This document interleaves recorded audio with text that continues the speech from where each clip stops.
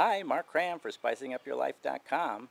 It's May 8th, 2009, and this is our weekly tour of our garden. Well, as we start in our garden today, um, we've, uh, we've got some flowers planted in this part of the garden. Um, we've got some sunflowers that are coming up and doing fairly well. And you can see that our hibiscus, wild and uh, Hawaiian, are both doing very well. We'll start in our garden today uh, with our uh, spinach and lettuce. You can see that our spinach is starting to get to the point where it looks like it's going to be bolting.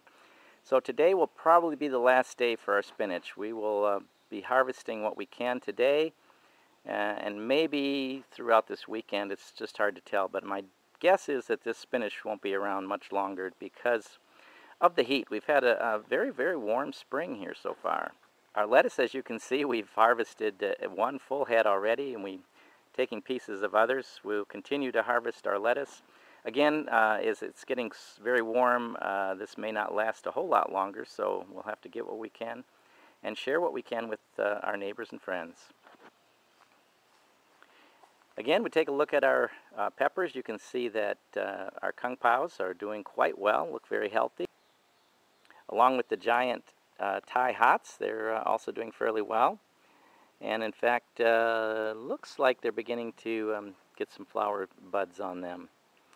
Then uh, we have our cayenne, which uh, some are doing very well, others are doing very poorly in the back there. So again, we've had trouble growing cayennes well here uh, throughout the years. Then we have our serranos and our Anaheims, and again, um, they seem to be starting to get established, although uh, I think fairly slowly, but uh, we'll keep an eye on them.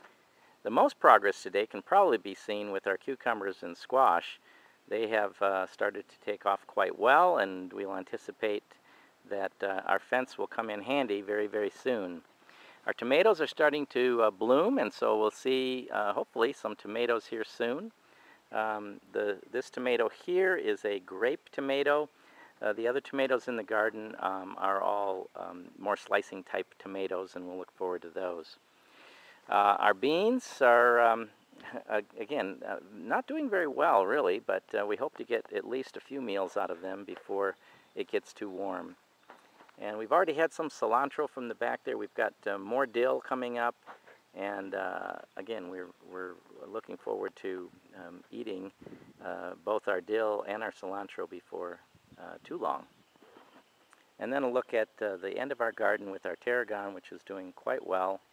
The bee balm, which uh, is uh, growing quite rapidly, and uh, we're certainly uh, going to enjoy those flowers when they come. And this is our lemon thyme, which is, um, again, very, very healthy plant, wonderful in salads and in cooking.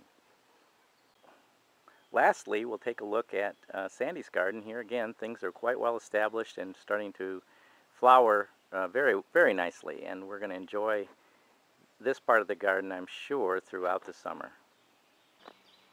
Well, that's a tour of our garden for this week. We hope you enjoy these updates. We'll continue to bring them to you throughout the summer. For SpicingUpYourLife.com, this is Mark Cram.